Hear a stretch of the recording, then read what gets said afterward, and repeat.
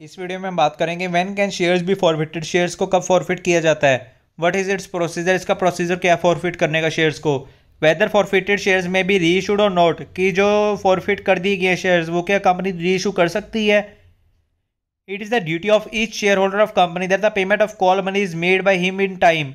ये सारे के सारे शेयर होल्डर्स की अपनी ड्यूटी बनती है कंपनी के कंपनी के अगेंस्ट कि जो शेयर होल्डर्स हैं, जब भी कंपनी पेमेंट के लिए कॉल मनी के लिए कॉल करे तो जो शेयर होल्डर्स हैं, वो टाइम पे कॉल मनी पे करें। If a share holder fails to make payment of a call the company may take against take action against him अगर कोई शेयर होल्डर फेल हो जाता है मतलब पेमेंट टाइम पे नहीं कर पाता कॉल मनी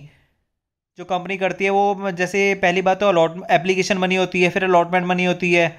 उसके बाद फ़र्स्ट कॉल होती है, फिर सेकंड कॉल होती है। तो अगर तो वो टाइम पे पेमेंट नहीं कर पाता शेयर होल्डर तो कंपनी उसके अगेंस्ट एक्शन ले सकती है। One of such action is the forfeiture shares उनमें से एक एक्शन को फॉर ऑफ़ शेयर्स बोला जाता है। Forfeiture shares provisions for forfeiture of shares are generally made in the articles of the association of the each company तो इसमें यह बताया गया, जो फॉरफीचर ऑफ़ शेयर्स के जो प्रोविज़न होती है, वो कंपनी के आर्टिकल ऑफ़ एसोसिएशन में होती है। In absence of such provision in the article of association the forfeiture of shares can not be affected तो इसमें यह बताया गया, अगर आर्टिकल ऑफ़ एसोसिएशन में एबसेंस है फॉरफीचर ऑफ़ शेयर्स के प्रोविज़न के बारे में तो फॉरफीचर ऑफ़ शेयर्स इफ़ेक्ट में नहीं आएँगे। मतलब वो कंपनी फॉरफिट नहीं कर सकती शेयर्स को। When a share holder of the company does not pay the share money on demand और up to the stipulated period of demand then a notice will be served to the share holder by the board of director with an intention that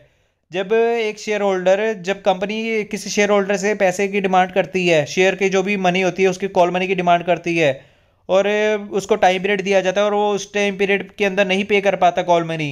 तो उसको एक notice serve किया जाता है board of director की तरफ़ से। और बोर्ड ऑफ़ डायरेक्टर की ये इंटेंशन होती है he should make payment of due amount up to a fix date कि वो चाहते हैं कि वो शेयर होल्डर अपनी अमाउंट जो उसकी बाकी बची हुई है कॉल मनी तो वो उसको मतलब फिक्स डेट वगैरह प्रोवाइड की जाती है। ड्यू अमाउंट वगैरह जितनी भी होती है, उसकी पे करनी चाहिए। अदरवाइज़ अगर वो नहीं पे करता ही शेयर शैल बी फॉरफिटेड उसके शेयर्स वगैरह जब्त कर लिए जाएँगे फॉरफिट कर लिए जाएँगे। If the payment is not made within the two weeks from the date of receipt of notice then a decision of forfeiture of shares will be taken by the board of directors अगर दो weeks के अंदर notice देने के दो weeks के अंदर अंदर शेयर होल्डर पेमेंट नहीं करता तो उसके शेयर्स वगैरह को फॉरफिट कर लिया जाएगा। बोर्ड ऑफ़ डायरेक्टर्स जो हैं, वो ऑर्डर कर देंगे डिसीज़न ले लेंगे। The relevant shares will be deem to be forfeited from the date of such decision और जो शेयर्स हैं वो जिस दिन डिसीज़न लिया गया है, उस डेट से फॉरफिट कर लिए जाएँगे। And the name of such share holder shall be struck out from the register of the shares और जो शेयर होल्डर का नेम है, वो स्ट्रक्ड आउट हो जाएगा मतलब उसको हटा देंगे कट कर देंगे शेयर्स के, जो रजिस्टर ऑफ़ शेयर्स है उसमें से। The relevant share holder shall be informed accordingly तो जो शेयर होल्डर है, उसको इसके बारे में इन्फॉर्मेशन दे दी जाएगी।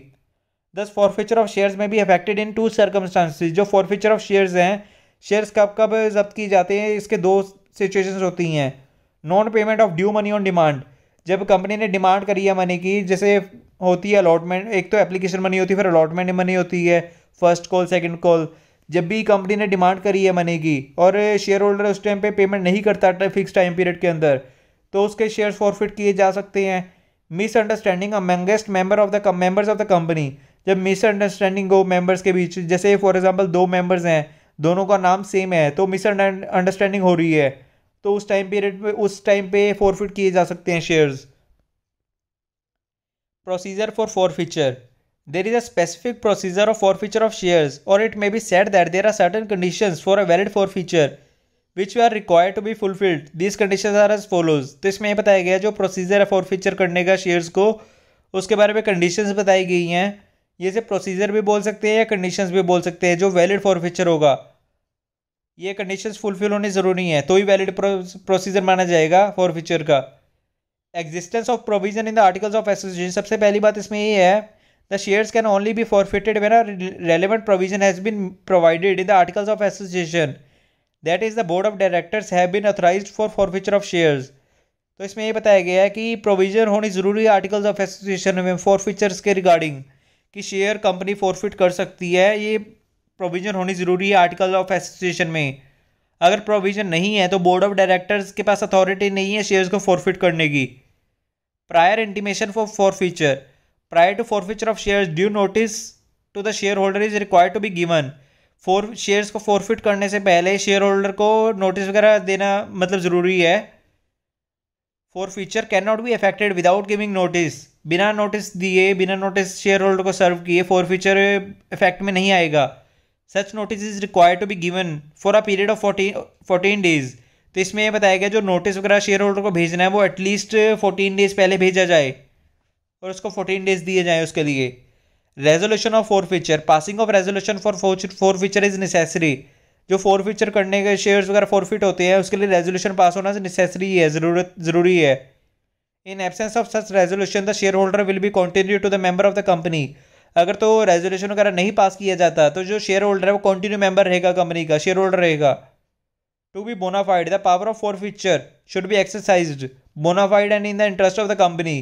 जो फोर फीचर होते हैं शेयर्स वो एक्सरसाइज वो पावर्स एक्सरसाइज की जाती है bona fidely and the interest of the company और कंपनी के इंटरेस्ट के लिए। Result of forfeiture consequences of forfeiture of share are as follows कि जो फोर फीचर होते हैं शेयर्स उसके रिजल्ट्स वगैरह क्या होंगे, उसके कॉन्सिक्वेंसेज क्या होंगे? क्या इफेक्ट्स वगैरह होंगे फोरफिट करने के बाद या फोरफिट करने पे? With the forfeiture of shares the membership of company of the shareholder ceases जब शेयर्स वगैरह फोरफिट कर ली जाएँगे किसी शेयर होल्डर की तो उसकी मेंबरशिप सीज हो जाएगी। Lien on the forfeiture shares of the shareholder ceases जो फोर फीचर जो शेयर्स हैं, जो शेयर होल्डर है शेयर होल्डर्स के जो शेयर्स होंगे, अगर कंपनी उसको फोरफिट कर लेगी तो कंपनी का उन शेयर्स पे हक माना जाएगा ना कि उस शेयर होल्डर का the rights and liabilities after forfeiture of shares of the shareholder depend upon the article of association तो जो भी शेयर्स शेयर होल्डर होगा शेयर होल्डर के अगर शेयर्स फोरफिट कर लिए गए हैं कंपनी की तरफ़ से जो भी उसके राइट्स एंड लाइबिलिटीज होंगी वो आर्टिकल्स ऑफ़ एसोसिएशन पे डिपेंड होंगी if a provision is laid down in the article of association that even after forfeiture of shares, the holder shall be bound to pay the value of shares. In that case he will be debtor of the company and not a share and not a shareholder तो इसमें यह बताया गया, जो share holder है share holder के अगर shares को फॉरफिट के लिया जाएगा, उसके बावजूद भी वो शेयर्स के जो भी वैल्यू वगैरह होगी, उसको पे करने के लिए बाउंड माना जाएगा, और वो कंपनी का डेटर माना जाएगा, ना कि shareholder if amount on sale of forfeited share exceed from the demanded amount then that excess amount will be return to the shareholder अगर उसके शेयर्स जो फॉरफिट किए गए शेयर होल्डर के, उससे जितनी अमाउंट डिमांड की गई अगर उसके शेयर्स को सेल करके उससे ज़्यादा अमाउंट मिल जाती है। तो जो एक्सेस अमाउंट होगी, वो एक्सेस अमाउंट शेयर होल्डर को रिटर्न की जाएगी। On forfeiture of shares of the shareholders the grantor will be live from his liability whose granted for demanded money तो इसमें यह बताया गया जो शेयर होल्डर के शेयर्स फॉरफिट किए गए हैं तो जिसने भी गारंटी वगैरह दी थी कि अगर शेयर होल्डर डिमांड वगैरह नहीं पे करेगा डिमांडेड मनी की तो मैं पे करूँगा वो अपनी लाइबिलिटी से मतलब उसकी लाइबिलिटी ख़त्म हो जाएगी। फ्री हो जाएगा वो उस लाइबिलिटी से। अगर कंपनी उसके शेयर्स फॉरफिट कर लेगी तो। It is found the forfeiture was illegal और invalid then action will be taken for its cancellation and to get compensation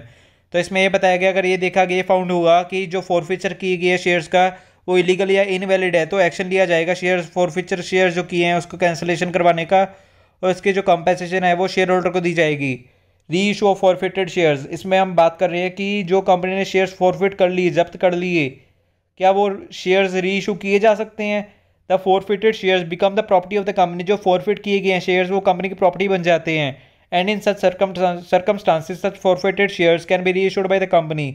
और इन सर्कमस्टांसिस में जो कंपनी है कंपनी फॉरफिटेड शेयर्स को री इशू भी कर सकती है. Okay thank you